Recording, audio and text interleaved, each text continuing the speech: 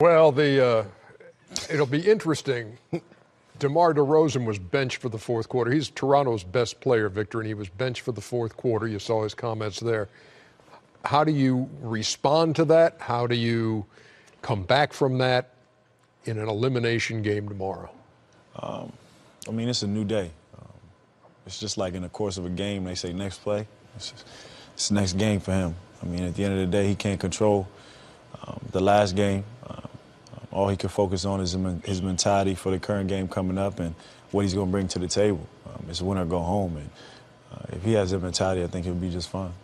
You heard uh, Brett Brown talking about six inches further back, uh, Belinelli. Then you look at a you look at the series differently, that kind of thing.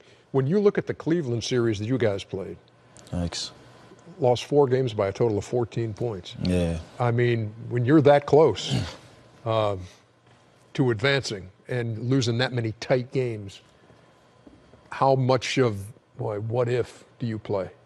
I mean, it definitely does weigh on your mind, Ernie. I'm not gonna lie, and uh, it's tough, man. We wanted to win that series. We felt as though we were the better team. Uh, we felt as though we had a chance to beat them, and unfortunately, we came up short. And, uh, I guess you could say we're a little young, and we not of us, not a lot of us have been in that situation before. But in the scheme of things, we we felt like we were close. We felt like we gave them everything we had, and um, it was tough. It was a seven-game series, and um, I thought my team played well, um, and just got to continue to keep getting better so I can make sure next time we win that seventh game. The Cavs have won seven games in this postseason, six of those by a total of 17, one by 18.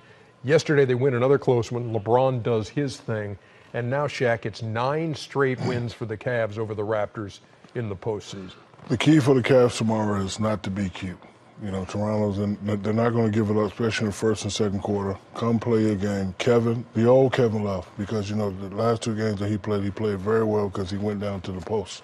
Uh, game uh, game two or game three, he had, you know, scored five times in a row on the post. You know, usually he likes to stay behind the three-point line. But if they come out, smell blood, put these guys away, don't play cute, don't rely on shooting the three ball, and LeBron be LeBron, this thing will be over with. Hey, we the North. We heading home to North tomorrow when the season's over. That's a sweep tomorrow? Uh, yes, over. Uh, listen, I, I give the, the, Raptors a lot of credit for battling last night. Uh, they competed. I mean, listen, they competed in game one. They were awful in game two. I give them credit for battling. Uh, but you, are not going to come back from three zip. I mean, it's uh, clearly the Cavaliers are in their head. I thought this was a different Raptor team. Uh, uh, so I, I, was wrong. I picked the uh-uh. Raptors to win this series, and um, we, we, we, did, we, did, we, did, we, did, we the North.